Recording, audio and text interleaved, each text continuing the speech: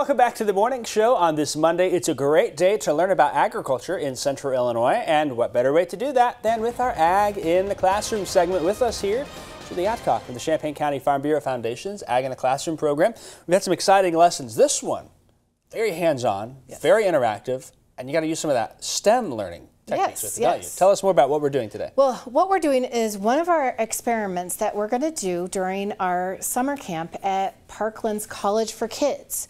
Uh, Ag in the Classroom is going to College for Kids and offering Ag Survivor. Oh. Yeah, so what we're doing is we're going to drop these kids in uh, central Illinois and they have to figure out how to get to their paradise and survive all the elements of Illinois growing their own foods, uh, how to read the weather, how to take care of their animals, what about shelter, all of those things. And with each of the challenges, they'll they'll have a contest and, and they'll win a challenge. So there's going to be a winner every day. Okay, so you've got a graphic I think that has yes. some dates on this. Talk me through more about the event, where it's at, what it, you know, the dates and stuff we see that on the screen okay. there. So it's at Parkland College. It's College for Kids, and it's going to be offered from June 17th to June 27th.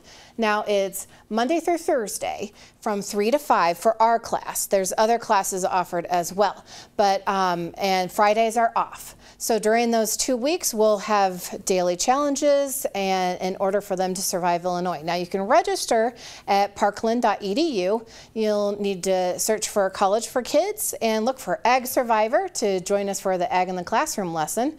And uh, registration is now open. That's exciting. Okay, and again, this is the specific, the Ag Survivor is what you're doing. Yes. There's other programs available for kids as well there? Yes. Okay, cool. So we've got one of those I guess here a little bit. You're going to give us a little sneak Yeah, I'm going to get a yeah a little peek because we have to figure out the weather. And one of the things we're going to do is we have to invent some weather instruments. And so we're going to make an anemometer. Anemometer, yeah, very familiar. So an anemometer tracks measures the, the wind. wind. Yeah, measures the wind. How, okay. how strong the wind is. Yeah, and how do you measure the wind? What's it called? The measurement? The miles per hour. Is it knots? Is oh, that, you can measure that? knots. Yeah, okay. so you can measure knots, kilometers per hour, miles okay. per hour, things of that. Uh, a lot of our maps and graphics, when we show you at home, we say, hey, this is in miles per hour. But uh, yeah, different different countries and different ways we measure the upper atmosphere. We do use knots a lot.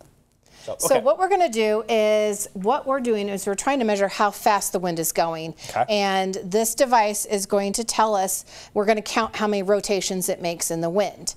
And what you need is five paper cups, Dixie cups, the little bathroom cups, and two straws. And you need a punch in order to punch your holes here and slide the straws in there and then with tape you're just going to tape on your cups. Now we need to uh, figure out a way to mount it so we've done this with a straw and uh, some tape in order to have a platform. Um, you can also use pencils. Sometimes it works good this way, sometimes it's better with the metal. That might be a nice way for kids to try and figure out what's the best way for the wind to move the anemometer. Then yeah. you could have even more with that. And that's part of the challenge. They're going to have to figure out how to make this work. Okay, so I yeah. did that a little bit. Yes, I was kind of looking at this. I was like, okay, I want to figure out. We had a pencil or another object. I thought maybe I'd take a little straw and some tape on there to give it a little platform. Yeah, let's see how it works. So, and we've got a big fan here. Yeah, I brought a fan. Now, when we take this outside, there's going to be air moving everywhere. Yeah, that's true. So it's going to be able to fill the cups more so than our direct wind passage. Okay. Trying to see if I can get that. We'll try this one first. It's okay. kind of a little lopsided. I Let's see here. And, and that one cup blew up there. Yeah, and sometimes the closer to it, uh, the more it will move. Uh, I think I busted it here. Okay, let's try I'm a little lopsided on that. I didn't, I didn't, do a very good job, did I? STEM challenges. Oh, there it's, you go. It's Look trying at that. to spin a little bit, maybe. I probably need a little more tape when I make this, didn't I? That's okay. This That's is pretty okay. fun, though. You just see it flailing around. I can read an ML, but I guess I can't make one. That's what we're learning today.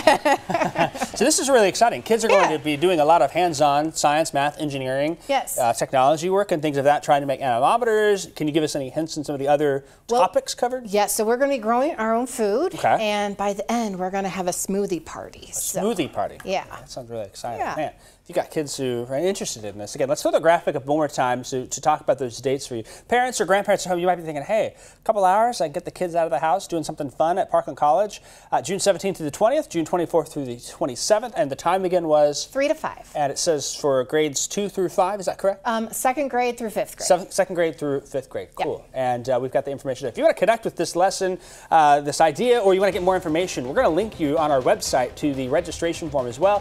Head on over, get all the details, wcia.com slash ag in the classroom.